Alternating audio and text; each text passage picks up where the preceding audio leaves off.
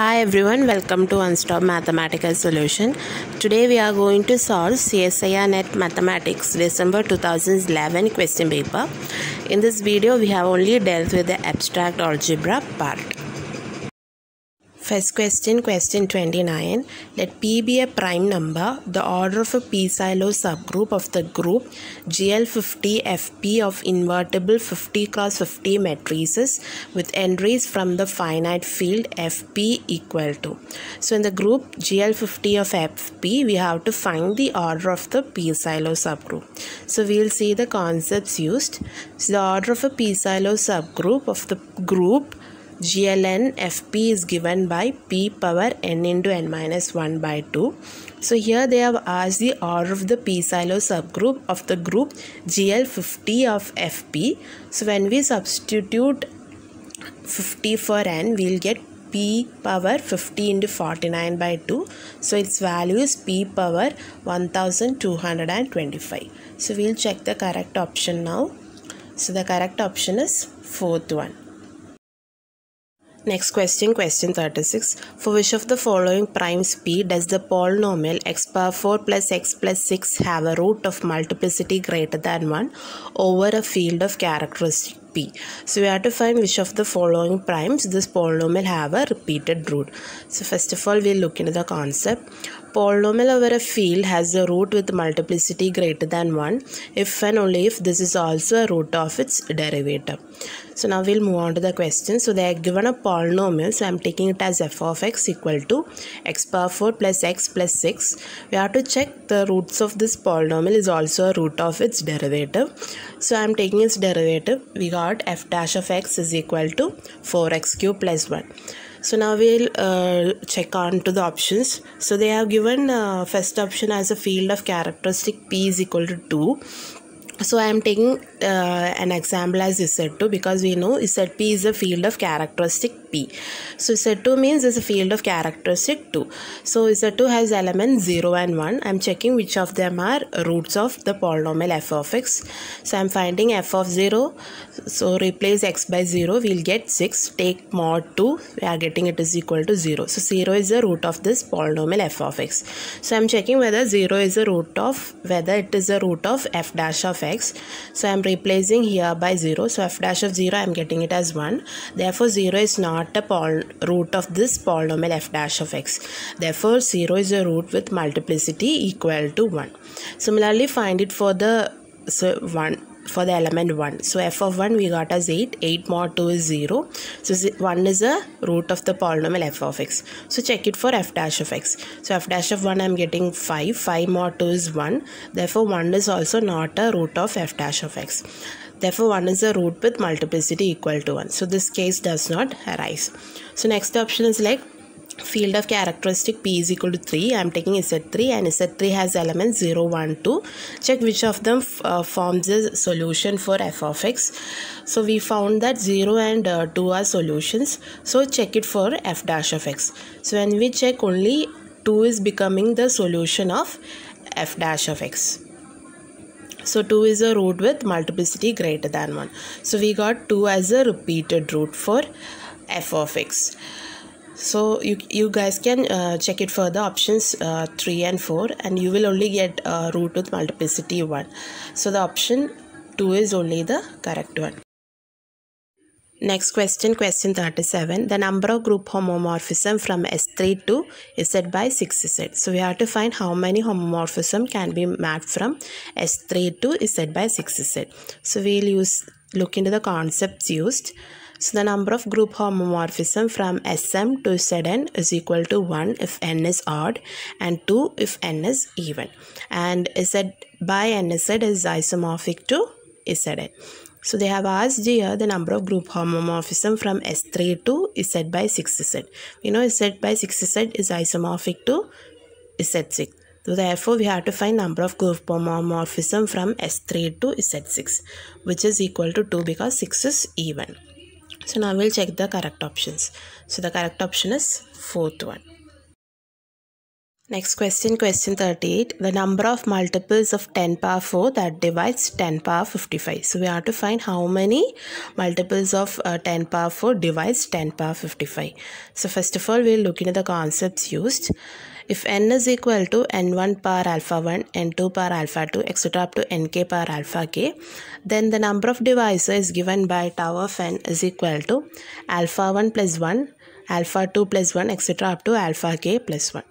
So now we'll move on to the question. So they have asked number of multiples of 10 power 4 that divides 10 power 55. So we know any multiple of 10 power 44 can be written the form n into 10 power 44 where n is a integer. So we want number of multiples that divides 10 power 55. So that is n into 10 power 44 divides 10 power 55 so when we simplify this we it is equivalent to n divides 10 power 11 so that is number of integers that divides 10 power 11 so all we need to count is the number of divisors of 10 power 11 and we know that 10 power 11 can be written as 2 power 11 into 5 power 11 Therefore, we use this concept.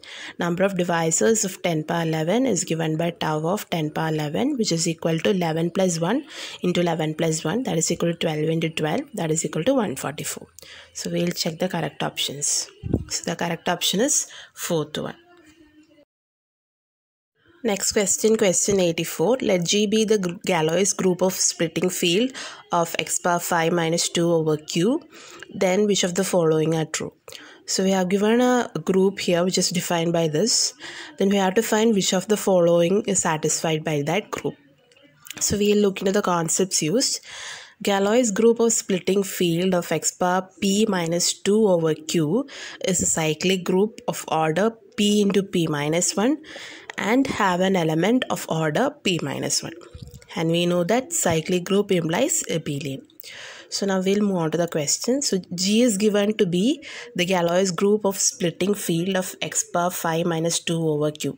Therefore, G is a cyclic group of order 5 into 5 minus 1 that is equal to 20 and G have an element of order 5 minus 1 that is equal to 4 and G is cyclic implies G is abelian. So we have got it this got this from the concept. So we'll check the correct options. So the correct options are 1, 3, 4. Next question, question 85. Let Z of i denote the ring of Gaussian integers for which of the following value of n is the quotient ring Z of i by n Z of i is an integral domain.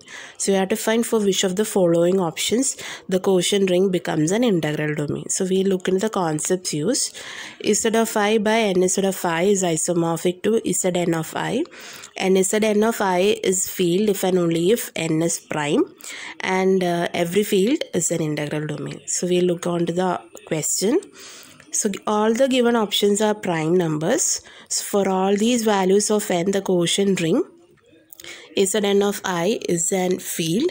So every field is an integral domain. Therefore, quotient ring is z of i by n z of i is an integral domain for all values. So we'll check the correct options. So the correct options are 1, 2, 3 and 4. Next question, question 86. Which of the following integral domain are Euclidean domains? So we have to check which of the options forms an Euclidean domain. So first of all, we'll look into the concepts used. Euclidean domain implies principal ideal domain implies UFD. So if uh, ring is not a UFD, then it cannot be an Euclidean, Euclidean domain. If it is not a PID, then it is not an ED. So PID means a principal ideal domain that is an integral domain with unity in which every ideal is generated by a single element. On UFD, unique factorization domain states if R is an integral domain is a UFD if A element of R and A is a non-zero and non-unit element such that A is equal to P1, P2, etc. up to Pn where Pi's are irreducible and also A is equal to q1 q2 etc up to qm where qi's are irreducible. Then a m should be equal to m and pi is associated to some qi that is a is associative b means a should divide b or b should divide a. And maximal ideals in Z of x are of the form ideals generated by p comma f of x where p is a prime in Z and f of x is an irreducible polynomial in Z. And Z of x by ideal generated by p comma f of x is isomorphic to ZP and ZP is field if and only if P is prime and F is a field implies F of X is an Euclidean domain. So now we'll check the options one by one. So first option is Z of square root of minus root 3 but this is not a UFD so it cannot be an Euclidean domain because if we know that 1 plus square root of minus 3 into 1 minus square root of minus 3 is equal to 4 and 4 can also be written as 2 into 2 but 2 doesn't divide 1 plus root 3 or 1 plus root 3 doesn't divide 2 so it doesn't satisfy the properties of UFD. So it is not a UFD. Therefore, z of square root of minus root 3 is not a UD but the concept 1 and second option is z of x and z of x is not PID therefore it is not an ED because if we note that the ideal generated by 2x is not a principal ideal. Suppose if I take uh, 2x to be a principal ideal then it will be generated by a single element. So I am taking it as f. So ideal generated by 2 comma x is equal to ideal generated by f then it should imply f divides 2 and f divides x from this we will get f is equal to plus or minus 1. But we took f to be a single element. It is a contradiction. Therefore, it cannot be a principal ideal. So third option is in r of x square x cube. We can write x power 6 as x square whole cube or x cube whole square. So it is not a UFD. Therefore, it is not a Euclidean domain. The last option, Z of x by ideal generated by 2 of x is isomorphic to Z2 by this concept. And Z2 is a field because 2 is a prime number and F is a field implies f of x is in Euclidean domain. Therefore, Z2 is a field. Hence, Z2 of y is Euclidean domain. So, we'll check the correct options. So the correct option is only the fourth one. Next question, question 87. For which of the following values of n does the finite field f phi power n with phi power n elements contain a non-trivial 93rd root of unity? So we have to find for which of the following options this field contains this non-trivial 93rd root of unity. So now we'll check how to do this question. So non-trivial 93rd root of unity means it is an element of multiplicative order 93 and also excluding the elements of multiplicative orders 3 and 31 because we, we need non-trivial 93rd root of unity. So if we take x power 93 equal to 1, we can split x power 93 as x cube into x power 31 equal to 1. That's why we are removing those orders and uh, if I take non-trivial ninth root of unity as psi, psi is essentially an element of multiplicative group of the finite field. So psi is an element of phi star of phi power n.